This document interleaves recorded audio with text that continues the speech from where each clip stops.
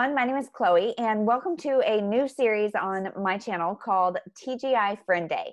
So, I just wanted to get on and do a little chat with different bookish friends. They may be booktube friends, Instagram uh, friends, anything. So, the first guest that we have today is one of my very, very best bookish friends, and I'm so excited to chat with you and thank you for joining. so, go ahead and introduce yourself. My name's Sarah. I am from the Bookish Knitter on YouTube. And yeah, that's pretty much about and Instagram. we'll get into more about me, I'm sure. Yeah. You, you're on Instagram too. yeah, I am on Instagram as well as the Bookish Knitter. Yes. Yeah. You're really like up in your Instagram game. I'm trying. I'm trying. so first, what got you into reading? Was it a person, a book? What got you into reading? My dad. Uh, well, I come from a bookish family. My dad always read, my mom always read. So we were ingrained in it. When you grow up in that kind of household, mm-hmm. you just you become a reader. Yeah. And you know, dad was reading books to me when I was far too like 20,000 Leagues Under the Sea when I was 2. You know, like I oh didn't gosh. grasp any of it, but it was yeah. more that time spent together. Yep. And then as I got older, um my parents would get me like the babysitters club books mm-hmm. and stuff mm-hmm. like that. And then so I I don't remember not being a reader. Yeah, that's yeah, awesome. To be honest, yeah. I like. I feel like Ainsley might be that way, but I don't know about it because, like, with her, I was like, like I would read out loud my books to her just so she would like hear the rhythm and that kind of stuff. And now she loves it, but I don't do any of that with Annie. So there's um, still time. There's still time. Yeah, yeah she's, she's young. So why'd you start a booktube? Why did I start booktube? I had been on YouTube before for many years doing a knitting podcast, hence the name The Bookish Knitter. Yep. And I liked it, but it was just I wasn't enjoying it as much anymore. The mm-hmm. the culture had changed. And I've been starting to watch a lot of booktube and I thought, I'd really like to do this. But at the time, there were not the romance readers like there are now. Yeah. Know, I really was what I felt was like really a big fish out of water, but I thought I'm just gonna stick with it. And now all of a sudden we've got romance readers and you know, yeah. adult book readers coming out of the woodwork, which is What's fantastic. This? Yeah. yeah. So tell us, how long have you been on BookTube? Uh, I will be five years on January 2nd, 2021. Really? Oh, yeah. how exciting. Yeah, yeah. We need to do something big for that. I know. I'm going to have to do something like, yeah. you know, a big, That's huge, really like, exciting. So if you guys know Sarah, you know that she is the queen of Harlequin and just romance in general. Like, yes, it, yeah, she's got quite the stash. So I want to know how did you get into that? Like, so your dad was reading to you. I, I don't think he was reading Harlequin, was no. he? so, so how did sure no? How did you go from that to uh, romance and Harlequin? I that would be something to see. I know, right? Actually, funny, very quick story. When my mom yeah. had her stroke and she was in the hospital and she couldn't read, my dad was reading to her the Janet Evanovich, really? Stephanie Plum books, oh. and the nurses would come in and he'd say, "We're getting to the steamy part. If you want to join us." Oh my gosh! Isn't Sarah's that, that's dad. true love? That's yeah, true. Love. Right, right. Sarah's dad is like, I wish I would have met him. Uh, he was awesome. Yeah. But um, so it was actually his sister. Um, my aunt worked for, she was head of payroll for the Toronto Public Library. And she used to can, could go down to the area where they throw out old books and she'd grab bags of them. And they'd be mm-hmm. mostly the Harlequins because for anyone who knows anything about Harlequins, they release new ones every single month. So they do have a shelf life. Uh, you know what I mean? Like a year old book, they just don't have room to keep putting six new books every series on the shelf every yeah. month. So they'd throw all these books out. She would bring them home. So my grandmother and I used to read them. And uh, I actually at first kind of thought, oh, no, these aren't really my thing. You know, I'm not yeah. into romance. I was reading Anne Rice at the time and uh, V.C. Andrews and, you know. And then as I got into my early 20s, I thought, okay. And then I started to pick up romance. And yeah. they they were, to be honest, they were cheap and they were easy to get your, my hands on. So that's yeah. kind of why I started with those. Yeah, yeah. but I clearly they've grown into a love for me. Mm-hmm. So, who are some of your favorite authors? Oh gosh, with Harlequin yeah, or just in general? In general. in general, Jill Shalvis, um, Eloisa James, Julia Quinn, Susan Wiggs. Yep. yep. Um, who else? Oh, I really love Maisie Yates. She okay. is fantastic. I, I mean, I just I love romance and I love I love it when they're a little bit tongue in cheek in a way. Yeah. I don't like super serious. And even with the historical romance, like I'm rereading through the Bridgerton series right now by Julia Mhm. Quinn, they are so tongue in cheek and so funny. Like I'm laughing in parts, and you think this is not what pic- people picture as a historical romance. Yeah, I need to try that series. I think. I think it's a good. it does get steamy, bear Yeah. in mind, but Yeah. it's still really good. Yeah, I need to try it because I've got it in my head that it's one thing and it's it's not. I know. No, but no, they're great, yeah. and the characters, and you know, it, they're just it's wonderful. It's absolutely wonderful. So if you had to pick a subgenre of romance, what would you pick? You can only read one. What would it be? Just one. Yeah. Does No, does does actually does holiday count as a subgenre? Yes, yes. Yeah, we're filming this on what November seventh, and I think we are both Yes. knee deep in the holiday romance. Oh, I just bought four more from Indigo chapters up here, our Barnes and Noble. I'm waiting for them to arrive in the mail. Oh, and you just bought one from Walmart, like yeah, literally. and I just got one from Walmart, the new ago. Lori Wilde. Yeah. Yep, yep. But if Yeah, I could pick good. that as a subgenre, I love any time of year. I mean, especially now. Yeah, You know, my Christmas tree's going up next week, and I'm super Mhm. into the holiday season. But I could read them all year round because they just make me happy at the end of and the day. they're just so cozy and yeah, Exactly. and exactly. heartwarming. you know? And even if they're smutty, like Christmas smut's okay for some reason. like You just end up on the naughty list. It's fine. it's fine. fine. It's fine. it's all good. So, what are your favorite tropes? Oh, favorite tropes. I do love a good friends to lovers. Mm-hmm. Um, I think we've talked sweethearts to lovers. Is, Yep. Yes. If it's done right. Yeah. You mean like childhood sweethearts? Yeah, like childhood sweethearts, I think is adorable. Yeah. I do too. Um, age gap, I don't mind as long as it's not perceived as dirty. Like Yeah. the whole daddy kink thing is not my forte. yeah. But I just finished the new Maisie Yates, and there was a ten-year age difference, Mhm. but it was done well. yeah. Like you know, it wasn't creepy old man. That's you know what I mean. There there is a fine line. Well, and I feel like, tell me if you agree, like that there's a certain age, like when they're like 17, 18, 19, age gap's a little weird. But once Mhm. they're like 20, 20, you know, in their 20s, then Yeah. 30s, that's not weird. That's not like fetish it, fet, fetishy. And no, no, not that no. there's anything wrong with that if that is your thing, but no, no, no, no, no, no, no. Yeah. And I, I'm not passing any judgment. It's just not my personal forte, Right. my personal thing. And like the Maisie Yates book, he'd known her since she was six, and he Oh, was really? 16. So it, it was cute. Like they showed some Yeah. of their relationship when when she was little. Yeah. Um, you know, but then as it got older, like he then he didn't start noticing her until she was in her early 20s. That was appropriate. So it was a little bit different, yeah, right? Yeah. I'm My like, you par- made it okay. yeah. My parents are nine years apart. And so it's oh, like, wow. so many times I'm like, Dad, she was like five and you were in high school. like that's that's weird. But yeah, they didn't mean till they were older, obviously. But Well, yeah. Yeah. but or the book, The Time Traveler's Wife. Well, I Mhm. like the story. I had major issues with that. I yeah, was going back to look at her when she was a kid, and I'm like, no, no, no, no, no, no, no, no. yeah, Like, you know, yeah. Do you listen to Ben Folds at all? Do you know who that is? do I read? No. no, do you listen to him? It's he's Oh no, no, no, no, no. it, there's a really old song and i can't even think of what it's called um i don't know i'll i'll mention it somewhere but it's it's like the exact same concept and i heard it around the time that i read the time traveler's wife and it's like yeah all this stuff of like i'm watching you when you're little and i'm like, mm, like, that's "Uh, weird No. too much too much yeah. uh so what are your least favorite tropes Accidental, accidental pregnancy. Yep Because women in romance novels are the most fertile women ever, ever. and everybody wants babies and it's Oh, yeah, and- and that- I think it's not necessarily a trope per se, but the fact that the books have to end with hmm oh, we got married and oh, we're having a baby. Yep. No, they don't. yep yep yeah yeah mm.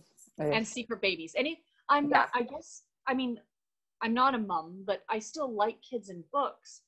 But when it's done, and, and like I was just talking about the Maisie Yates book at the end, they did something together without protection. And I'm just thinking, don't go there. Please don't go there.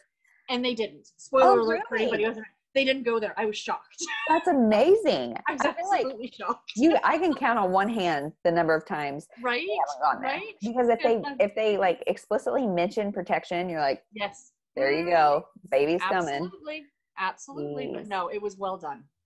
What do you what do you wish there was more of in the romance community, booktube community? Um, well, let's start with what do you wish there was more of? Like what what types of books do you wish there were more of? What types of books? Yeah. For sure, like I just said, I'm not a huge fan of kids and books, but I think Mhm. there are ways it's done well. And I would love to see more books about parents with kids who have special needs. I Mhm. just read last month the sheriff, a sheriff's star by Makenna Lee, and it was Mhm. about a little girl with Down syndrome. I loved At it. It was the most charming. Yes, and it, yeah. it takes place at the tail end of like right at the end. Christmas happens. It's not really a Christmas book, but Okay. it was delightful, and Yeah. it was so nice seeing a struggle that Mhm. you know what I mean. And I'd love to see more romance novels as well with married couples Yes. because, as you well know, as a as a as a wife, Yep. happily ever after does not end on that It wedding is day. not sunshine and rainbows. No, it's No. like happily ever after is the wedding day, and then it, everything after is like where life The after. happens. Yeah, because yeah, it's true a lot of couples struggle later on you know whether it's through financial reasons or if they have a kid with special needs or Mhm. they can't get pregnant there Yeah. could be a whole host of reasons and i think that that would make things a lot more realistic hmm to i think that's what it is at the end of the day is more realism within romance yeah, not just the knight in shining armor on the white horse but yeah. you know dealing with diapers and dealing with in-laws and dealing with you know thanksgiving Yes. dinner yes, yes. Which thankfully, I I still think America needs to move to Canadian Thanksgiving. October is a much better time for Thanksgiving. it is we had it outside last year Yeah. Yes. Well, and now you're ready for Christmas. There's nothing between you and Christmas. Yep, exactly, exactly. Whatever.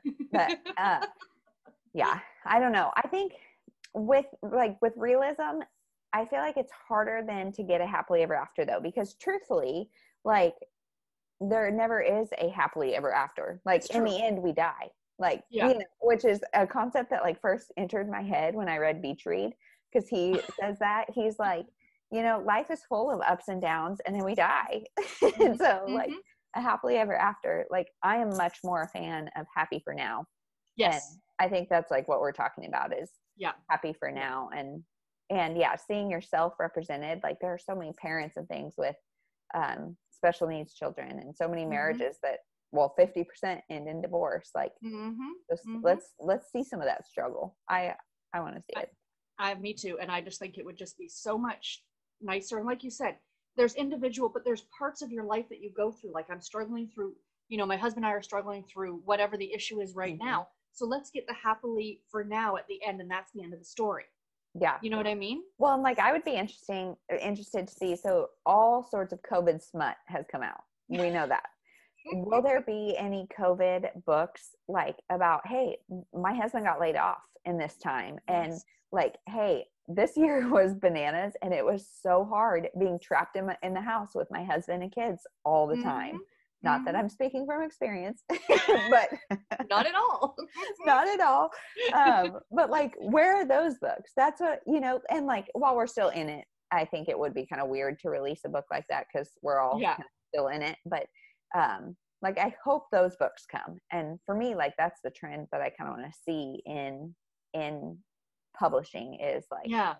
some like okay let's use this and make smut but then also make like what people actually felt going through this I saw one. I actually got one on NetGalley. I can't remember the name of it off the top of my head, but there is. It's a COVID story, and it's a chick lit novel. I think it's set in the UK, Mhm. really and they live in an apartment, and Yeah. she they live like above each other or something, oh, and it's yeah. their love story. But while they're in, but they're socially distant I know. like lean out the window like, and like, hi, yeah. you look nice in that different set of pajamas. So I'm itching to read it because I think it's going to be yeah. delightful, and I think. You know what You know, like you said, we're getting the COVID smut, and, and I, I Yeah. hate that we're coining that as a term. yeah. It'll be nice to see the more realistic side of it. Yes. You know? Well, and like so many people have talked about like all these COVID babies and stuff, and I'm like, clearly they have better hygiene and no additional kids. Like this has been the least sexy time of my life. know, right? Like, uh-uh. No, no. COVID, like all standards have gone out the door. Pretty much, pretty much. Lovely. Yeah. So, what would you like to see more of in BookTube? In BookTube. Um, I I think we're starting to see a lot of it now. Um, a lot different genres being discussed. The way I've always looked at BookTube in a way has been like a bookstore. Like you walk in and you've got your section for romance, and you've Yes. got your section for horror, and you've got. But the thing is, is that that bookstore, that little, is dominated by YA. And Yeah. there's nothing wrong with YA. I do like the occasional YA contemporary. Mhm. But I think as booktubers, and I'd like to see older booktubers too, yeah right? Like, I mean, we're getting, and there's, and I'm not saying if you're young, don't do it. But if you're older and you feel like you want to participate, there's nothing stopping you. yeah And I'd love to see more women. I'm in my early 40s, Mhm. and there are only a few of us that I know of at my Yeah. age that are talking about, you know, books. Mhm. And we have a lot to talk about. yeah we matter too dang it That's right. yeah and men too more men yeah. i would like to see more guys talking about whatever it is that you read like you know i think i keep trying to encourage my husband to do it but he just doesn't read enough yeah that would be Yeah. so fun or at least if be. he popped on your channel i'm trying to Yeah, yeah. well and i've seen a couple a couple couples that have Mhm. channels um Mhm. and that's fun that's just something different but yeah that's an i like your like analogy of a bookstore Mhm. especially because i i get so many recommendations and like yeah i often watch booktube with thrift books open oh yeah so I- that's the thing. I, I have a note the the note app on my phone is like Oh, constantly yeah. like yeah uh, it's rough. That's It what, prior to booktube i would have never said that i like cared about owning books because you've got the whole library. Why do you need to own them and now i've got books surrounding me and i'm i like, know. I don't i still don't know why do i need to own them but i do. They're don't just so pretty. They are. And like if they're good, you're like, oh, remember when I read that? Yes You know, I, I Yep. it makes me happy. And like uh, when the library closed, it's like it's okay. I'm covered. yeah i'm good i'm good I'm i can start charging people to come in and borrow my right, books right, right. so okay, up to you if you answer this. But what have been your favorites and least favorite books of the year? If you don't want to answer this because you're going to do end of the year stuff, you can tell me. I am going to do end of the year stuff, but I mean, I can mention it here too. It's not Okay. a problem because the end of the year, a lot of people tend to do their top, you know, 20 books or whatever. I Yeah. just talk about my top, my my books that I got that I gave five stars to because, as you well know, Mhm. five star reads do not come easily Yes. I know. Yeah, me either. Um, but recently, without looking at my list, I would have to say at the beginning of the year, I read "I Owe You One" by Sophie Kinsella, which Mhm. broke my heart for reasons. Yep. Um, and That's a perfect time, perfect book thing, isn't it? that was that and that Yeah. and i talked about that numerous times that if i hadn't read that book then i don't know Mhm. if i'd given it five stars but it was about her losing her dad and i literally uh, two weeks earlier had lost my own father so it was the perfect storm but it was such a such a well done book but most recently if i'd have to pick like one that really stood out to me and i was just saying i'm not a ya reader was Yeah. pumpkinhead by Rainbow Rowell. i It's thought so it was so charming It is so good. so charming oh my Yes. god i loved it I did too. And like I had heard about it, obviously, because what? It was 2018? came out last year It was 19? Okay. Yeah. But yeah, and I read it this year too, and it was just so good. Such a Oh, joy. yeah. it was that perfect quick little book and then the other one i think both you and i read was that call me maybe by cara barstone that one was super No, I cute the haven't read audio. I have not read it yet. oh I you haven't oh okay No. sorry my mom did my bad Yes. my bad i know you're gonna borrow it next Uh, yes. that book was so cute and it's it's the perfect audiobook Yeah. because you're getting all the sounds like if when she's sitting in her car you can hear the cars going by you yeah. know you can hear them typing on their computers it was and they i don't want to give anything away but it Yeah. was just delightful absolutely So delightful cute. Yeah. yeah. You have that Carly Jepsen song in your head every time you pick it up? yeah pretty much Oh my gosh. I, now, like, all I listen to is like kids' music and stuff. And I'm like, I'm really thankful because those like catchy pop tunes just Yeah, never yeah. leave. Never leave. so, what what was your least favorite of this year? verity by colleen hoover oh, no. Oh, i only said that because i'm here with you yeah. no that wasn't my that probably didn't make my least favorite it definitely made the bottom of the list at some point Ah. but i'll be honest i and okay i just had one i don't dnf very often either yeah. but I just had one. Was it just the other day I was talking to you guys that I DNF'd a book and it was by um, Jude Deveraux Yes. and it was called I think twice in twice in twice in your life or i can't remember the title of it now but it was being billed as like an outlander which i love outlander is one of my favorite series of all time Yeah. and it kind of was where this guy dies and he gets sent back to earth because she's i, I don't even know how to explain it i was completely confused by the second chapter Yeah. i'm like i don't even care Yeah. and i dnf'd it because i just I, it's a 12 hour long audiobook i wasn't here for it i'm Yep. sorry Have you read other Jude Deveraux? I've read one other and I didn't like that one either. So maybe she's just not an author for me. So I picked up the Mulberry Tree by her, Okay. um, and I remember I was reading that when I was in the hospital with Annie. So like Mm-hmm. I and so I was like, well, maybe that's why. But I tried it physically. I tried it on audio. I just could not, and so I I like never DNF, and I DNF that one too. I I just think she's not for me. Yeah, and that's fine. Not every Yeah. author is for everybody, you know? Yeah, she's another one of those old school that, um, yeah. I mean, Yeah, she's been around forever. And it's funny when I looked at her um, author pick on uh, Goodreads, she Yeah. looks really familiar. Is she a Oh, pen really? name or somebody else? Because I thought she was. I tried to Google search and I couldn't find anything. Maybe I've just looked at her picture before. I don't yeah, I know. don't know. I don't But know. yeah. I haven't looked at that. But That's yeah, she wasn't an author. I mean, the writing wasn't bad. I just, no, Yeah, just no, just no. It's okay. There are so many good authors that oh, I know. She's I got know. a fan base, and it's not that. Yep. I Yep. know. What are you currently reading? What am I currently reading? I am currently reading um oh, A Surprise Christmas Wedding by Philippa Ashley, which is a UK chick lit novel. Oh, good. It is oh, it's so cute. Yeah. It's about this couple at the very beginning. They're they get engaged, and this is in the prologue. And then he splits out. He decides, oh, I made a big mistake. We can't get married. oh, So now it's a year later. She's working at this estate in in the Lake District in England, and he shows up with his new fiance, and they're going to get married at this estate that she works at. Ooh. But he does not want his fiance to know that she is his ex fiance. Eesh. That Yeah, sounds so- messy. It is, and then she's and now she's kind of falling for um, has a crush on the caretaker of the Okay. estate, and he's got a black Labrador Retriever. It's just so it's cute. so British too because I read a lot of UK authors because I love them. Yeah. And some of them are a lot more British than others. yeah. And I think people who real read them know exactly what I'm talking about. Yes. You know, this one is just full of slang. And Yeah. I can imagine there'd be a lot of people who wouldn't understand it necessarily. But Yeah. I grew up in a household where my mom watches Coronation Street. If you ever, I don't know if it's a Canadian thing or what, I've never heard it- of it, it's a- it's a British drama that's been on the air for like 70 years. My mom's been watching it since she was 16. is and that, it's that very um it's that London accent, but they have a lot of like they're going out for fishing, you know, whatever, or they're wearing their jumper or they're going to their flat. And it's I'm so Mm-hmm. Yeah. used to it. yeah, yeah, you know? yeah. I was just what was I was watching or listening some to something that they were saying they got addicted to BBC dramas and they watch it with the subtitles on because I like my grandma watches them and I've tried to and I I'm like I can't I can't get into it because I can't understand but with subtitles it's almost like reading a book. Oh, I used to grow up um, watching those BBC shows, the Are You Being Served and stuff, and Fawlty Towers. Oh Yeah. God, they were delightful. My grandfather used to watch them all the time.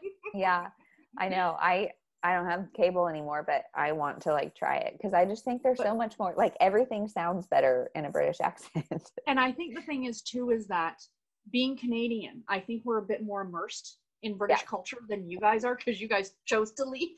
Whereas like, Yeah. no, no, we'll stick around. It's fine. Put the queen on Right. our money, right right which now look where that got us right? but anyway yeah and i was talking to karen from rather be reading um in australia they get a lot of the british stuff you know Yeah, a lot of the they're a, they're a colony as well. sure yeah, Yeah. so another reason I think you'd like them though. Knowing Yeah. what you like to read, I really do think that you'd like. I think so too. And the UK covers of everything are so much better. Like they're just so cute and sweet. I I don't know. know what it is, what they're doing over there, not here. Well, that's why I'm like, so it's a marketing reason. So why are you know like what what do they do to get those good covers? I want to know. Exactly, exactly. like I, I, don't know what it is and why they feel the need to do a different cover in the UK as opposed to Yeah. the US, but I think it's a, it's definitely a different market. It's a different type of reader, even though the Yeah. book is the same. Yeah. It's being marketed to a different, you know, demographic essentially. So, Yeah. Yeah. Yeah. If anybody's watching this in the publishing industry, let us know. Because like I just live for the UK covers. And thank God for Book Depository that I can Yeah. order them. Yep. Yep. I so I'm reading a series right now and it's like a secret TBR, so whatever. But I have one in mass market paperback and I'm so annoyed by it. Which oh, I, I know never used to be a thing to me. I'm like, I'm reading for the content. I don't care Yep. what the book looks like. And you and I both love like well loved books. Yep. one, I'm like, "Oh, I really want to rebuy it. I don't know why it's bothering me, but it is. Um, okay, so is that all you're reading? um, I haven't started yet, but I'm actually going to start a um, what do you call it? A true crime novel called Murder in the Bayou by I think it's Ethan Brown, and it's about a serial killer in Louisiana. But it's for nonfiction November. Yeah. So yeah, I'm in the mur- mood for a little murder and mayhem before I really get into the Christmas. Yeah. stuff. Well, you got to balance. It's like you've got Right? sugary sweet and then a little bit of crazy. And d- Is that on audio? yeah, it's going to be on audio, and Yeah. uh, and I am like I said, rereading through the Bridgerton series. I'm on book two, The Yeah. Viscount Nine, Yeah. which is Anthony's story, which I love. I feel like true crime on audio is like really scary. yes, Yeah. It's really it's only six hours long, so my goal Oh, is to get it done today, and I Oh, just good. want to kind of Yep. get it finished. Yep.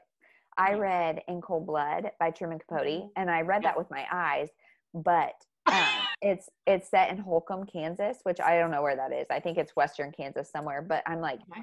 this eh, this is too much. Like I I could not deal Yeah. with it on audio because it's like too close to home. Nope, nope, nope, nope. I always used to watch um what was it? Un- was it Unsolved Mysteries? Oh no, America's Most Wanted. It used to be on Oh. on Sunday nights when I was a kid. And my brother and I would watch it together. I don't know why we were like little. Yes. We'd watch it and they'd always say at the end, and the perpetrator was last seen heading to the Canadian border. And Richard and I would be like, "Ah, No, You know? no, go back. We don't want you. why do we do Yeah. this to ourselves? Yeah. Because I am a scaredy cat. I scare relatively easily. So yeah. Well, yeah. my grandma also watched Unsolved Mysteries. I spent a lot of time with her as a kid, and she watched Unsolved Mysteries, and I'm like, they're interesting, but that in and of itself is terrifying. They're Absolutely. unsolved. Like, where are these people? They are killing people, and they are out somewhere. yeah. They Like, could be next door. like, I need the follow up of like, and this was solved, which Yeah. sometimes you got, but like, and this was, and this person just they caught the guy. Yeah, yeah, and everything is hunky dory. You're safe at home. exactly. but that doesn't lovely. happen. I know, I know. So I just like avoid all of that because Oh, for sure. I have enough Yeah. trouble sleeping. I know.